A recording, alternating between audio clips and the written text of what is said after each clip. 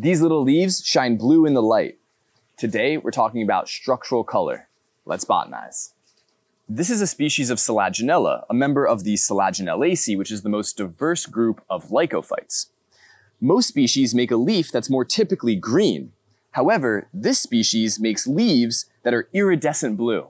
Most color in plants, like your pink petals or these red leaves here, are due to pigment molecules, which absorb and reflect particular wavelengths of light.